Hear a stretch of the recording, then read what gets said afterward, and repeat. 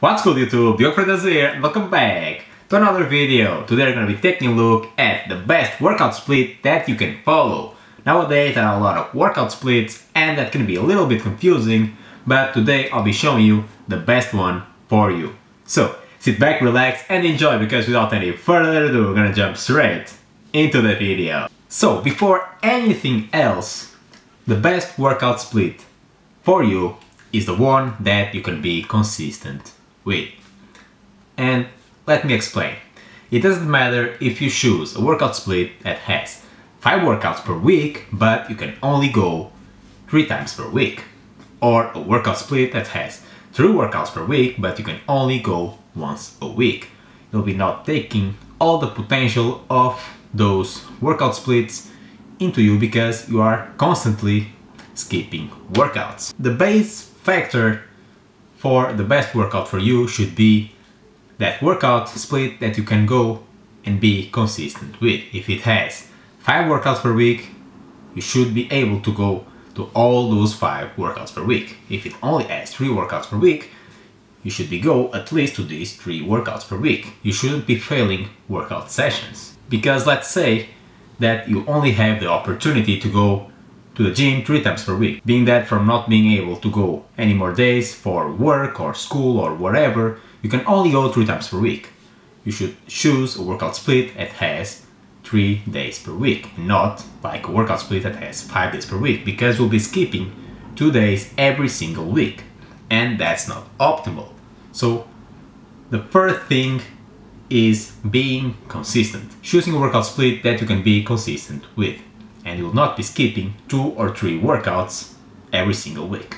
And there are a lot of workout splits that you can follow. You have, for example, legs push pull workout split, you have a full body workout split, an upper lower workout split, a bro split, the most used split in the universe, but not the most optimal. But you get the point. There are a lot of workout splits out there for you, but you need to choose one that you can be consistent with. And let's take a look at why the bro split is not the most optimal workout split, even though it's the one that most people start with and keep doing years and years. The bro split is not the best workout split because it only allows you to train each muscle group once per week. You'll be eating chest on Monday, you'll be eating back on Tuesday, you'll be eating legs sometimes on Wednesday, shoulders on Thursday and arms on Friday. And as you can see, you can only be eating each muscle group once per week. And why is this that bad? Because there are a lot of scientific literature and scientific studies that shows that training frequency is a key factor to muscle growth. And what does this mean? Basically, it means that training the same muscle group more than once a week will lead to greater gains in the long term. Basically, because if you train the same muscle group at least twice per week, you'll be experience more gains than you would be experience if you only be training it once per week. So training frequency is a key factor to muscle growth. There are not that much scientific literature to prove that training more than 3 times a week will lead to greater gains, but at least training each muscle group twice or 3 times a week will lead to greater gains than only training once per week.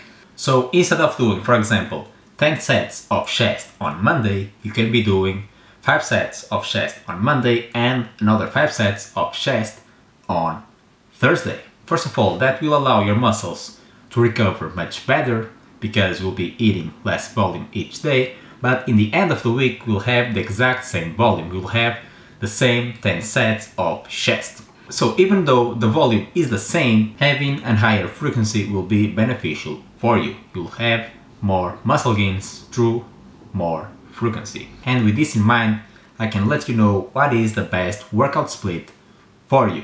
Let's say that you can only go to the gym once per week. Here, of course, the frequency subject will not have an effect, but you can still choose a best workout split for you. If you can only go once per week, the best solution for you is to do a full body workout because you'll be eating every single muscle group on that session. Week by week, you'll be eating every single muscle group again and again. So doing a full body workout will be the best option for you. What if you can go twice per week? Still, a full body workout would be the best workout for you. Why? Because the frequency factor. Because you'll be eating every single muscle group twice per week. You'll be doing, for example, a full body workout on Monday and another full body workout on Thursday or on Friday. And you'll be eating each muscle group twice per week, getting the most amount of gains possible. What if you can go three times per week? If you can go three times per week, still the best workout split for you would be a full body split. Because you'll be eating every single muscle group three times per week. And you can go Monday, Wednesday and Friday for example and you have a rest day between each workout. What if you can go four times a week? If you can go four times a week, that's when the workout split will change. If you can go four times a week, it will be more beneficial for you that you do an upper, lower, upper, lower. And what's that? Basically, you'll be doing an upper body workout on Monday, for example, training back, chest, shoulders, biceps, triceps, basically everything that is on your upper body and you'll be doing a lower body on Tuesday doing quads, hamstring, glutes, calves and then you'll take a day out on Wednesday, a rest day.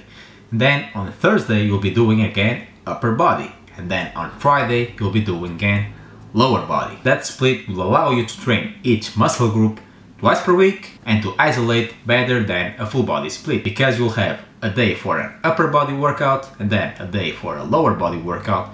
You'll have a rest day and then again upper body and lower body. Every single muscle group twice a week but with better isolation. What if you can go five times a week? If you can go five times a week the best workout split for you would be legs push pull lower upper.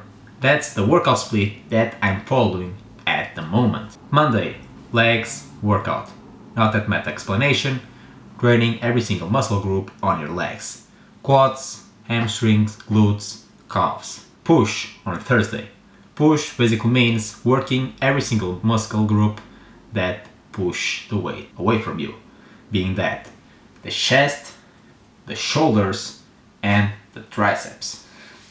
That's a push workout and you can do it on Thursday. On Wednesday, you'll be doing a pull workout, and that's a workout that you pull the weight for you, like back and biceps. On Thursday, you'll be doing a lower body workout, and that's basically the exactly same concept as the legs Monday.